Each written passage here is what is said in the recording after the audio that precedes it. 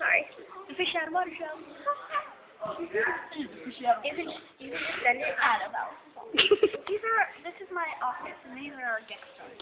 Kenna, Allie, I'm Bella, my best friend Cassie, and my other best friend Kylie. And that's okay. That's Bella. And that's Alice, aka whatever. Fish. and I'm Jessica. from the host. Ouch. I, like, and that's. Ola.